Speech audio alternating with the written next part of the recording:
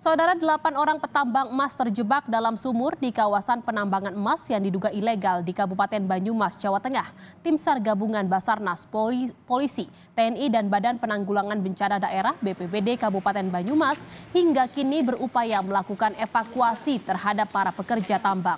Delapan orang petambang emas di desa Pancurendang, Kabupaten Banyumas, Jawa Tengah terjebak dalam sumur sedalam 70 meter.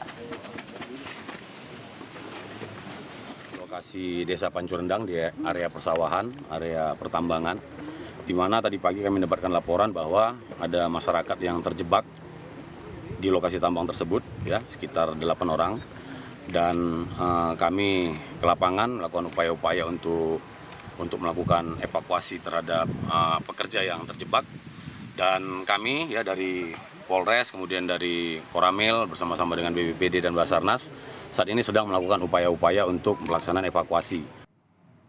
Tim SAR gabungan Basarnas Polri, TNI dan Badan Penanggulangan Bencana Daerah BPBD Kabupaten Banyumas terus melakukan upaya evakuasi terhadap delapan petambang yang terjebak dalam lubang penambangan di Desa Kracak Kabupaten Banyumas.